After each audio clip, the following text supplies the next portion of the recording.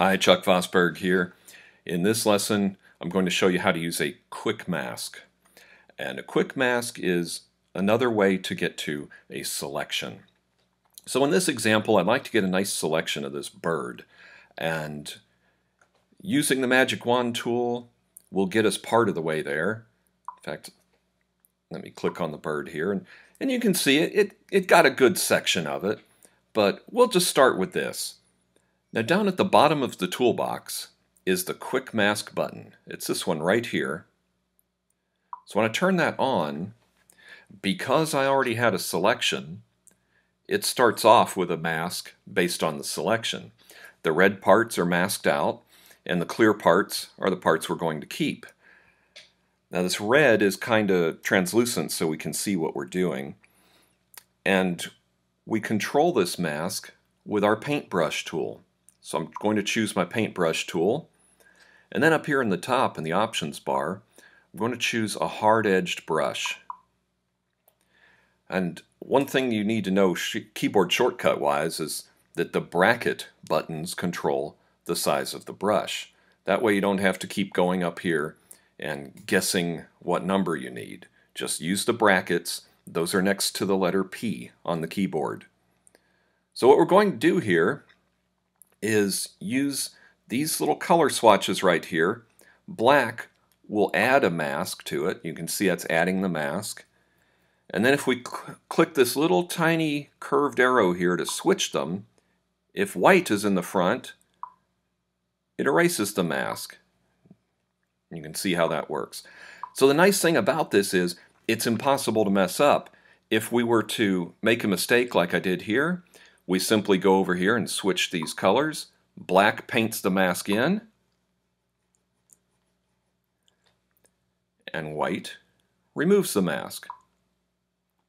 So I'm going to go in here and just clean this up quickly, but before I do, I want to explain something about these swatches here in the toolbox.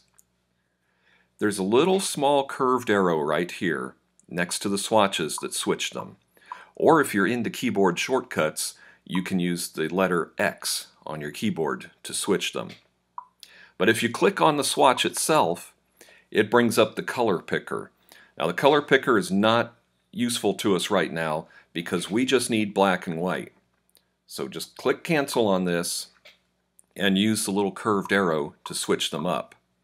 Now if you accidentally change these, there's a very small black and white preset down here underneath the swatches that'll put them back to normal very quickly.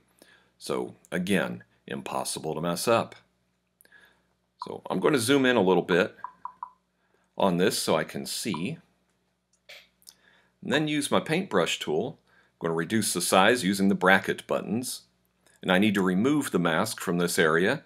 So I'll click the swap arrow here to switch these up and just remove the mask from this area. And I'm just going to do this quickly so that I won't bore you. Move on down here. Okay, we've got another little section to clean up. This is much, much easier if you use a pressure-sensitive tablet, you know, like a Wacom tablet. And um, again, I'm just going to do this very quickly. The nice thing about this is if you do mess up, you switch the colors and fix it up.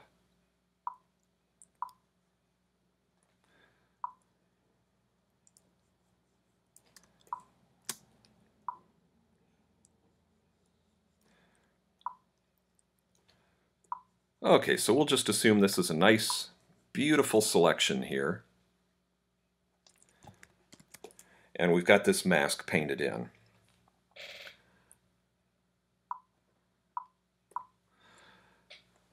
All right, so the way to convert this into a selection is to go down here and unclick the quick mask button in the bottom of the toolbox, right here. And you can see it's converted that into a selection. But I made a mistake right here. I clicked a couple times accidentally with my mouse and left a couple holes in the bird. So we can go back into quick mask mode and fix that. So I'm in my paintbrush tool. I'll fix that up. then go out of Quick Mask mode by clicking on the Quick Mask button. Okay, my selection looks good now. So now we could select the bird, copy and paste it into another picture, or isolate this bird so that we could change just it. But let me first show you. Under the Select menu at the top of the screen, it's a good idea to save your selections. So I'm going to go down here under the Select menu to Save Selection and just give this a name that makes sense to me and click OK. Now that selection is saved. If we were to go back later on and need that selection, that selection's been saved with this picture now. So I can go to the Select menu, go on down to Load Selection, and choose it out of the list here. You can actually have up to 99 saved selections per picture in Photoshop. So in this case, there's just one. Click OK, and it brings back the selection just the way I wanted it. Now, while we're on the topic of selections, there's one other thing I'd like to show you. At this point, the bird is selected. So anything that I were to do would affect only the bird. We could copy and paste it. We could go into the filter menu and apply an artistic filter. But what if we wanted to do something to just the background? We want the background selected instead of the bird. Well, under the Select menu, there's a command called Inverse. And that just makes the selection the opposite of what it is. So now everything except the bird is selected. So if we were to go and just for example, if we went under the filter menu and uh, we'll just pick something at random here that really shows, it would only affect the selected areas. So using these selections can really give you a lot of control. So I'm going to go under Edit and undo that. So selections are easy. I recommend saving your selections, and Quick Mask is a very easy way to get a selection, especially on complex objects like this that would take forever to do using any other methods. So I hope you enjoyed that. I'm Chuck Vosburgh, and good luck with your Photoshop.